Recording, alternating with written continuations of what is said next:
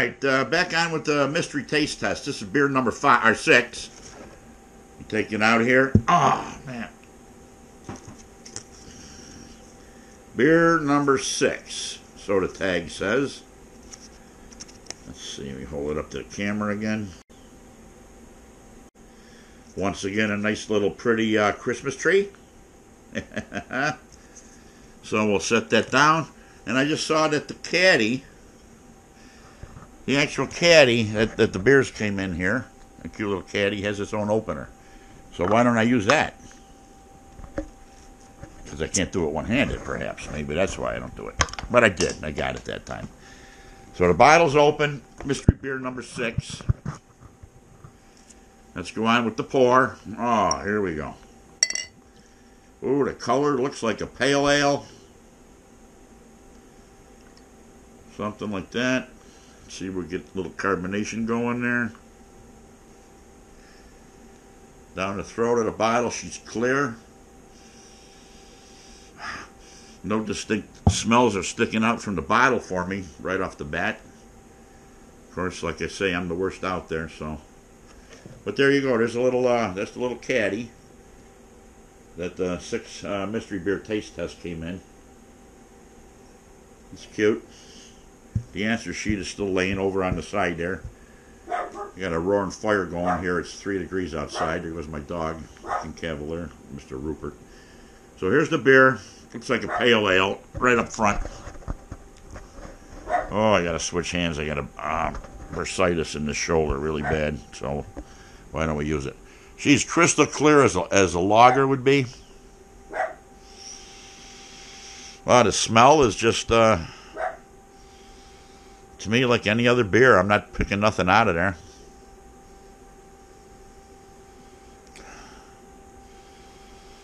No, nothing special standing out there. Nice and clear. Carbonation, very little. This is going to be another one of those Marzens or something. Let's get in on the taste test on the, an actual uh, palate, see what it tastes like.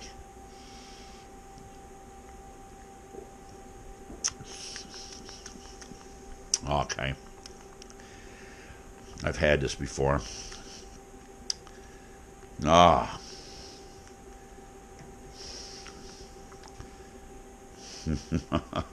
Sam Adams something. I've had this before. I know I have.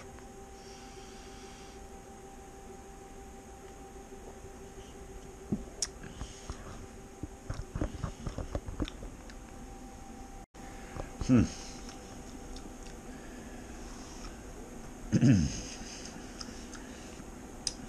Definitely had this before. I, I couldn't tell you what it is. Like I say, I'm not good at, at this. Not good at this at all. I remember it not being one, maybe a rusty chain from Flying Bison, or doesn't matter what company, but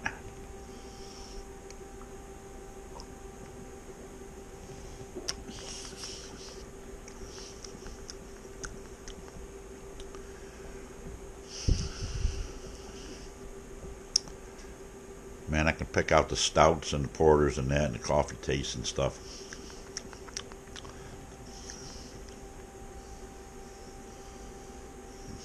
Nothing on this.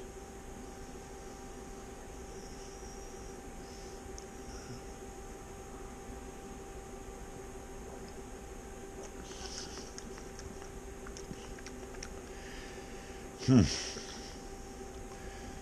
I say she's clear as a bell. I'm going to have to go with some sort of a pale ale. I'm going to write that down right now on my sheet. Pale ale. Farm pale ale.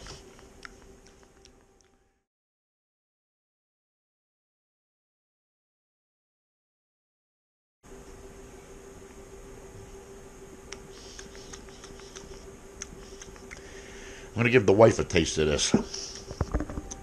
She's not going to tell me what she thinks, though. I just want to see if she thinks she's tasted this before.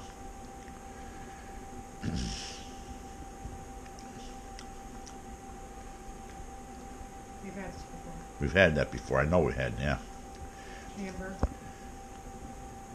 Irish Red. Yeah, like an Irish red or a pale ale. Uh, well, has a uh, unique taste of uh, Caramel. You can taste the caramel in there. Very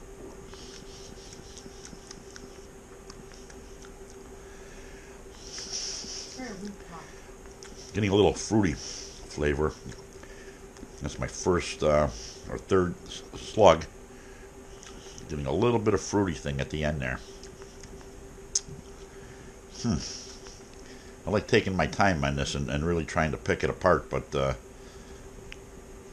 like I say, I'm not that good at it.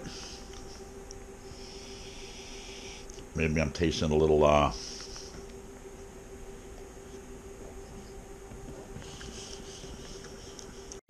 Wow, totally lost on this one. Uh, farm ale, pale ale, farm ale. I think they're the same. I'll try to go with the ABV because I got nothing else to say here. I'll say it's about a 5 5 0, 5.0 ABV. We can talk about the SRMs. I don't have a, a sheet in front of me, but they'd probably come in at about a, uh, don't know, maybe a don't have the sheet in front of me, like I say, maybe 20. I don't know. Don't have it. Ah. Not sure what this is.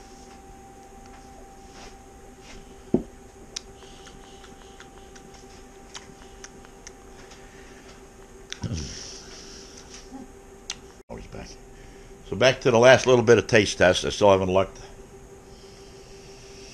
Don't have a clue. I'm, I'm smelling a little fruity smells in here. Could be the hop.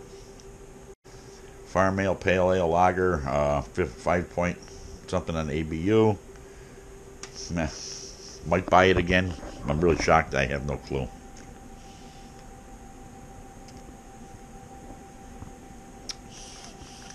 All right, I need a sheet. She's gonna hand me the sheet here because number six, I'm stumped on it too. What did you say it was? I'd come up with a pale ale, farm, farm, farm ale, like a lager, fruity right flavor. I'm right on some point. Blue Point Toasted Lager. Okay, we got the lager point down. Blue Point Toasted Lager. It's an amber lager, a Vienna. Okay, it's probably what I was tasting there, throwing me off on the fruity part. So yeah, uh, um, the Vienna malt is, is what's probably throwing me off. There. I'm going to read this. Should I take another taste of it? oh.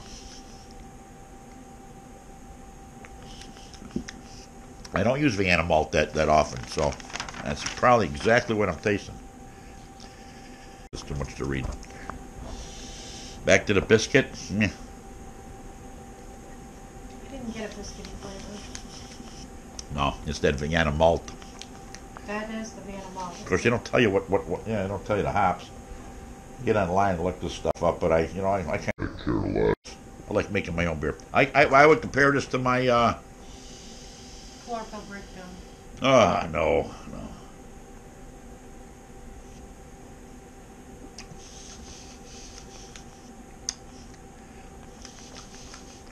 Not loving it that much. Back to buying it again. Would, would I keep it around? No, I'm not going to buy it again. I, I like it. I, I would drink it. if it's free. I don't seem to be uh, too much of a Vienna type of guy, and I'm not sure if that's what Miller uses or not. Gotta look that kind of stuff up.